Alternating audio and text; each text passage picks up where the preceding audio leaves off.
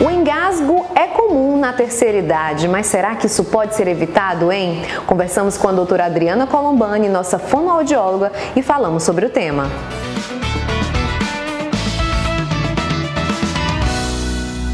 Adriana, seja bem-vinda. Muito obrigada, Juliane, pela oportunidade. Começa explicando pra gente por que, que os idosos costumam se engasgar mesmo não tendo uma doença assim tão grave, uma doença de base. No envelhecimento é muito comum alguns idosos terem esse sintoma. E aí, é, isso pode ser em decorrência ou de um, uma prótese, de uma dentadura mal adaptada, falta de dente, sensação de boca seca. O envelhecimento traz uma musculatura mais flácida, né, com menos força. Isso dificulta o idoso na mastigação. O idoso já começa no envelhecimento não comer tantos alimentos duros, né? Então, a gente tudo isso aí já vai influenciando. Vai. Uso de alguma medicação que ocasione a boca seca, né? Então, isso pode ter alguma repercussão aí na vida desse idoso. E é comum, Adriana, assim, idosos costumarem se engasgar tanto. É Sim. comum assim, nos seus casos clínicos? Sim, já... hoje a geriatria, né, que é a área que cuida do, do idoso, é, é, muito comum vir para nós da fonoaudiologia pacientes que não têm nenhuma doença grave, né, nenhuma sequela e tem esse sintoma.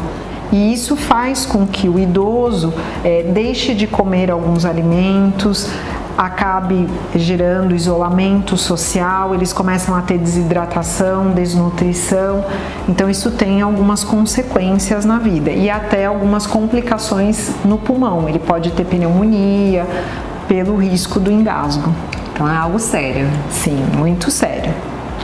Adriana, fala pra gente, tem algo que possa ser feito para evitar o engasgo no idoso? É, quando o idoso percebe que algum alimento ele costuma engasgar mais, tentar evitar ou tentar adequar ou melhorar essa consistência, vou dar um exemplo.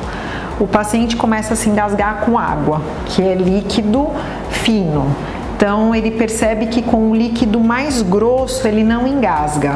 Então a gente sugere é, parar o líquido fino e usar, por exemplo, suco de duas frutas ou um suco mais grosso para evitar esse engasgo. Então, é começar a perceber de onde é que vem esse, esse engasgo, né? Ou, por exemplo, eu tenho dificuldade para mastigar uma carne em pedaço, tentar ser uma carne moída, é, mas em geral, é, essas orientações para serem mais precisas, mais adequadas para o idoso e para a família, é sempre importante procurar um profissional especializado que é o fonoaudiólogo que atua na área de disfagia, que o engasgo, o nome que nós damos é disfagia. Disfagia. Que é um sintoma que é a dificuldade do alimento passar da boca pro ir até o estômago.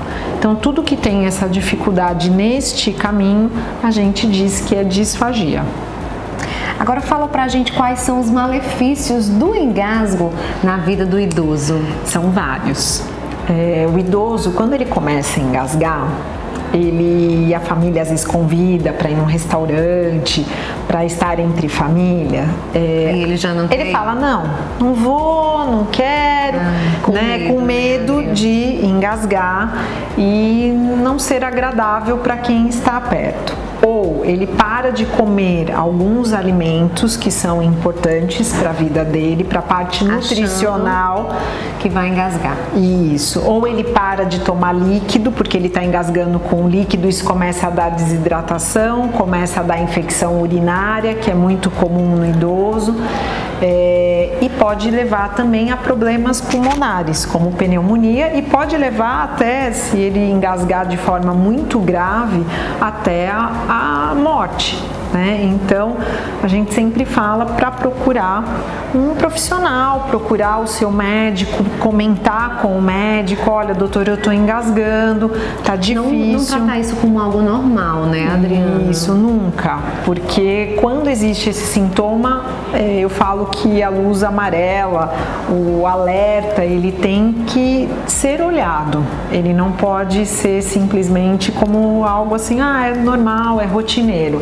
Não. Isso serve também até para quem convive com esse idoso, né, Adriana? Sim. Que às vezes essa percepção ela não vem do, do idoso. Então, se tem um filho, o pai, seja o familiar que convive, que percebe que o idoso né, tá tendo esse engasgo frequente, ter Sim. esse alerta, né? Não custa nada passar por uma avaliação com a fono.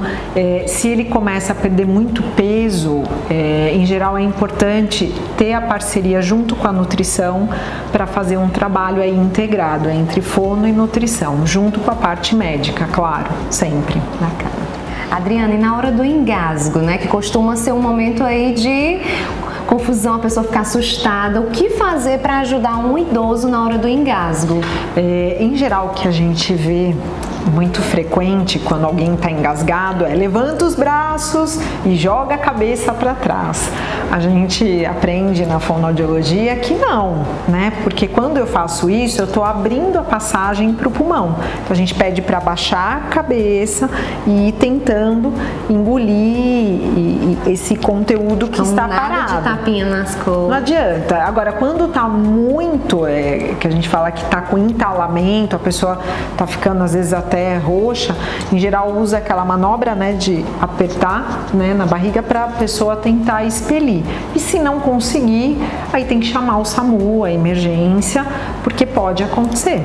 E né? calma, né, Adriana? E ter calma. Né? Quem está do lado ali é um momento, Sim. né? Então acho que a calma também. Sim, ajuda muito, né? Com certeza. Adriana, obrigada pela participação. Muito obrigada a você, Juliane, pela oportunidade. Até a próxima. Até.